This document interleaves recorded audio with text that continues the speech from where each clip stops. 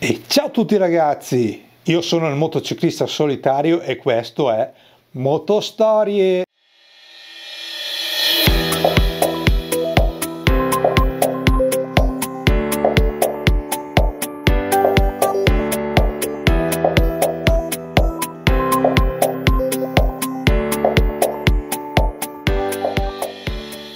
E benvenuti amici appassionati di moto, oggi vi porterò indietro nel tempo per raccontarvi la straordinaria storia di Carl Clancy, l'uomo che ha compiuto il primo giro del mondo in moto.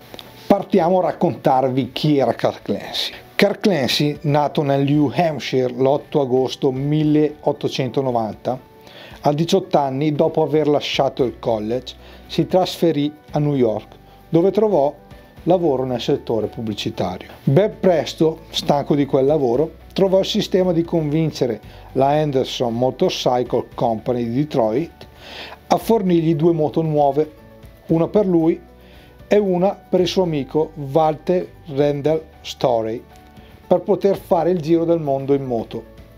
Le spese di viaggio le avrebbero coperto scrivendo articoli sulle riviste più importanti di tutto il mondo ovvero ragazzi erano degli influencer dall'epoca. Quindi nell'ottobre 1912 Cara e Walter partirono da New York con una nave in direzione Dublino dove la Anderson gli procurò le moto e tutto necessario per il viaggio.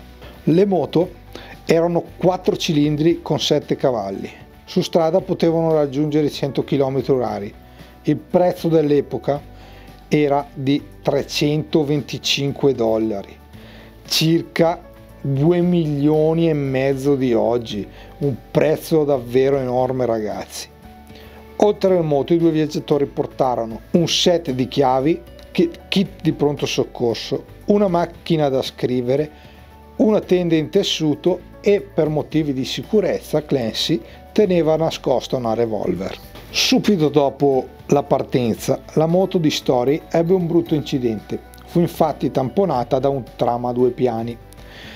Questo inizialmente non fermò i due viaggiatori che proseguirono con una sola moto, ma dopo essere passati dal Belgio Olanda ed essere arrivati a Parigi, presero la decisione che era troppo difficoltoso viaggiare in due con una sola moto e quindi Storey abbandonò l'impresa tornando negli Stati Uniti. Quindi Carl Clancy proseguì il suo giro del mondo in solitaria.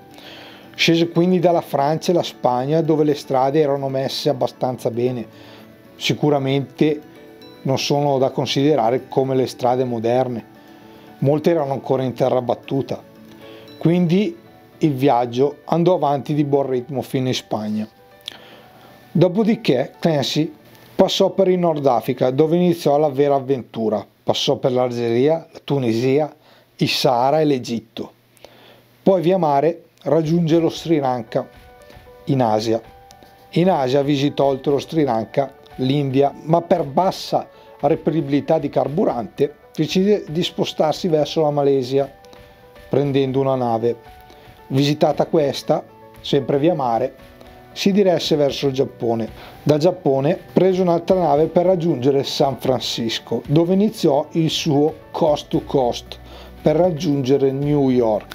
Per la fine della sua impresa si unì a lui un suo amico Robert Allen, anche lui a bordo di una moto Henderson. I due, dopo parecchie difficoltà, pensate che all'epoca non esisteva ancora la famosa Route 66 e le strade erano davvero pessime, Carl Clancy concluse il suo viaggio dopo ben 11 mesi precisamente il 28 agosto 1913, quando dopo aver percorso 29.000 km rientrò trionfante a New York. Questa ragazzi è la storia del primo viaggiatore che ha compiuto il giro del mondo in moto, Carl Clancy, che è stato un pioniere del eh, viaggio in moto. Io spero che questa storia, la prima storia di questo podcast vi sia piaciuta. Spolliciate, mettete un bel mi piace e niente, ci vediamo per altre ragazzi motostorie. Ciao ciao!